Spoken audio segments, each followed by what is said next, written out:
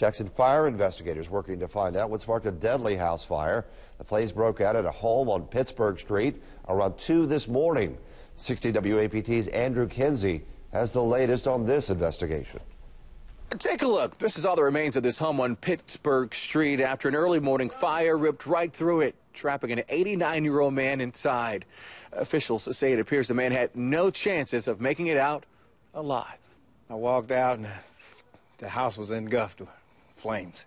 That's how neighbors are describing the deadly fire that destroyed this home around 2 a.m. Saturday morning. It is our understanding there was at least three people home at the time of the fire. When firefighters arrived, they say flames were shooting through the roof and thick black smoke could be seen billowing from the windows. John and Pat told me that when they woke up, the smoke was so severe and then they had to break out the window to get out. They couldn't find the door. That man and woman escaped the blaze without injuries, but investigators say an 89 year old man sleeping in a back bedroom did not.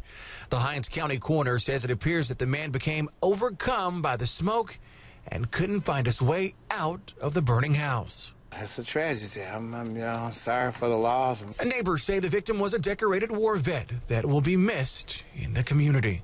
Mild, meek person.